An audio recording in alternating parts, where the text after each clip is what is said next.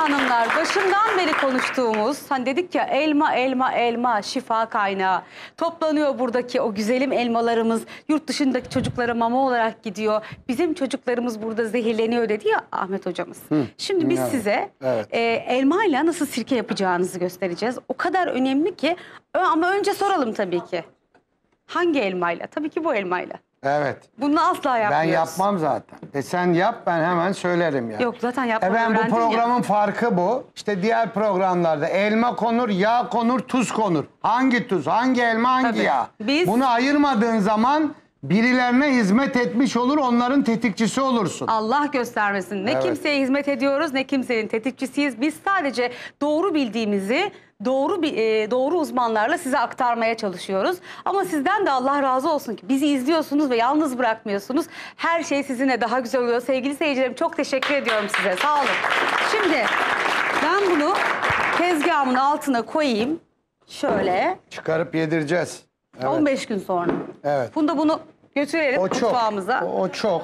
Şöyle küçük şunda da Şunu da yapalım hocam. Peki. Tabii. Buyurun Tamam. efendim size sürahi verelim. Tamam. Funda sen bize bir su getir hemen.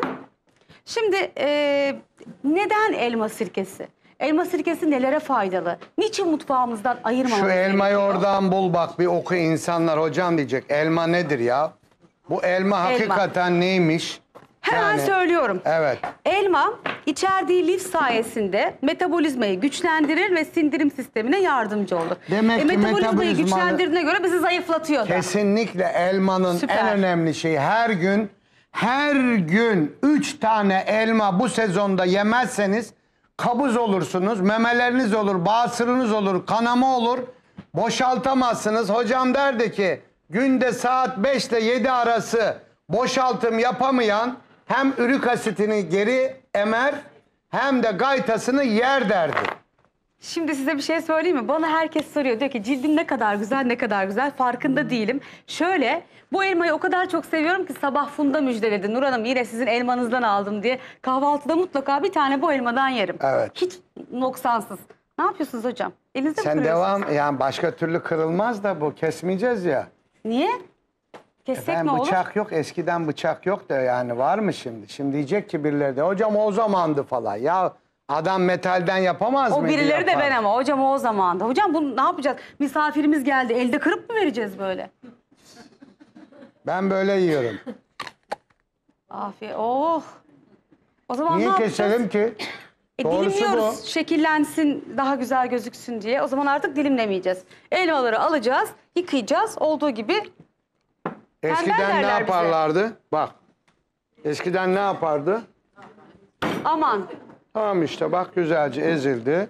Hemen bunu hop içine attık. Tamam mı? Bak. ha, hiç bıçak kullanmadan yapacağız Hayır onu niye, da. niye yapıyor? Tabii ya niye bıçak kullanıyorsun ki? Yani niye bıçak kullanıyor? Tabii içinde diye. yani tabii şimdi onun gibi aynı şekilde ama tabii evde bunu kırabilirsiniz. Yani böyle de kırabilirsiniz öbür türlü de bu şekilde. Korkma korkma oradan niye geri kaçıyorsun ki Funda?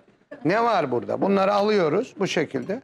Tabii. Böyle çekirdekleriyle falan Evet, yani. Çekirdeklerini asla. Ben hayatımda size bakın bir şey öğrenmiş olun.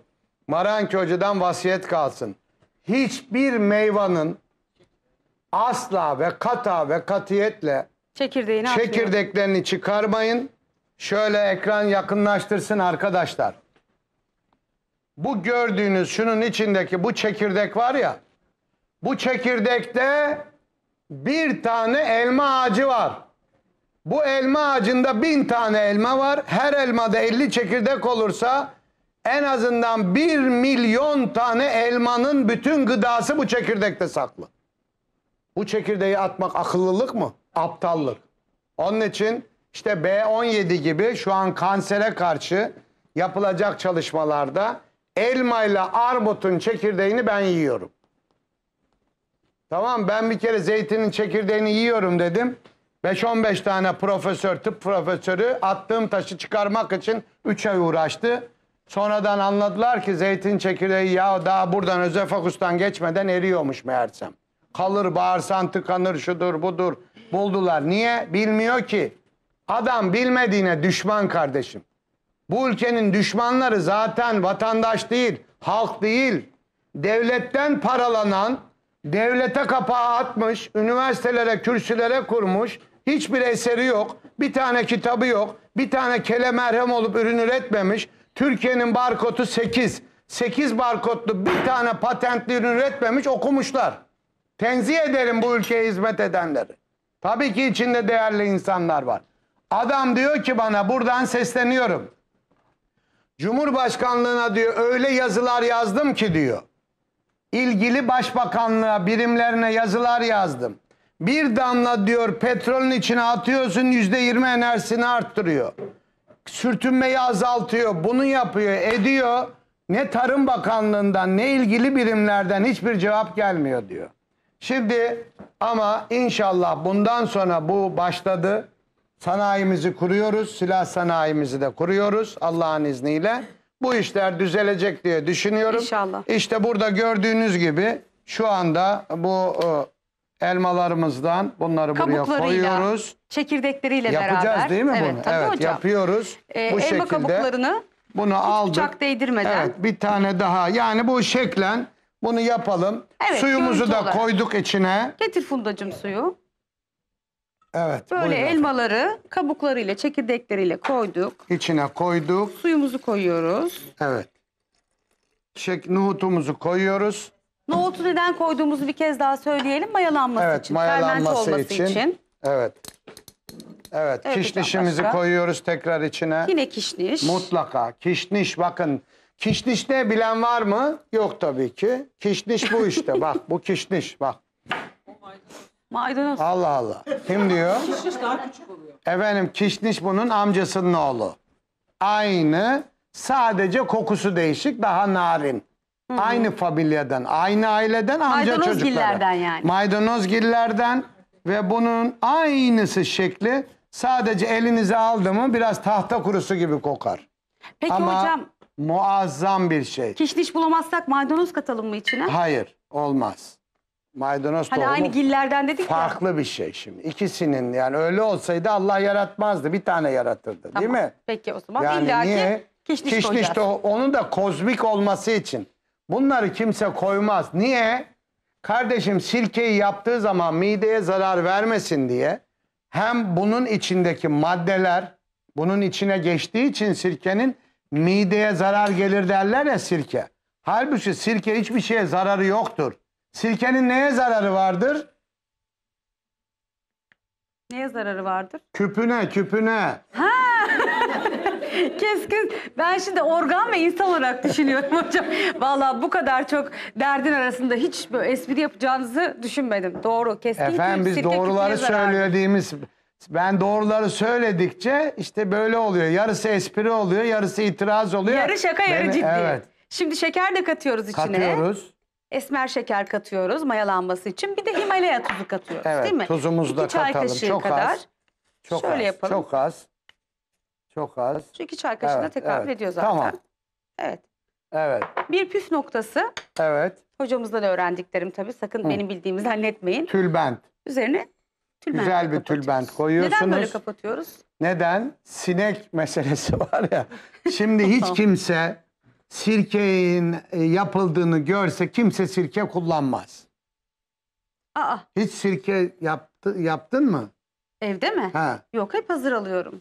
Evet ondan böyle zaten. Hazır Böyle alıyor. derken? Yani e, kaliteli yani yapmadığından belli oluyor demek Böyle istiyorum. derken başka bir şey kastettiniz. Yok şey yani siz Yok görme. yok hocam. Siz başka bir şey kastettiniz böyle derken. Şimdi e, sirkeyi açtığınız zaman kapağını tabi eskiden tahta küplerde yapılırdı. Fıçılar vardı.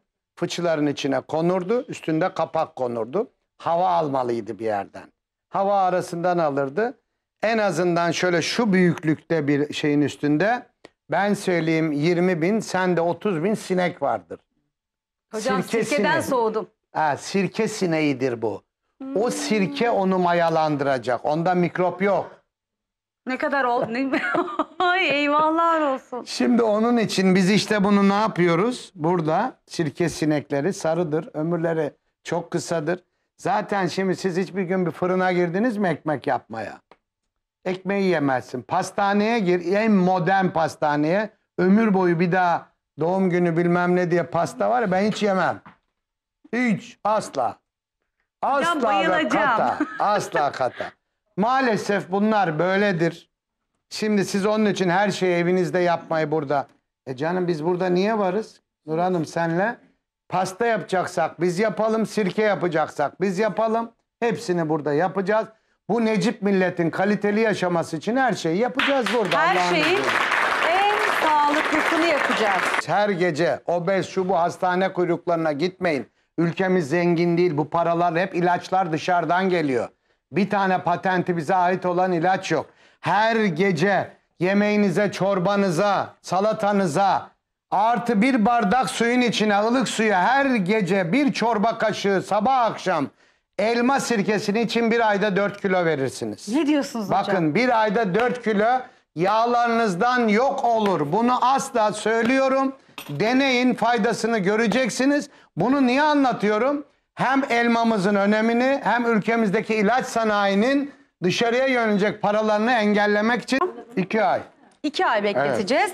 İki aydan sonra yine e, dolap içinde beklet. Yani buzdolabında değil ama aşağıda tezgah altında bekleteceğiz. Arada bir karıştırıyoruz. Tamam. Karıştırdıktan sonra o mayalanacak, itilenecek 3 aydır.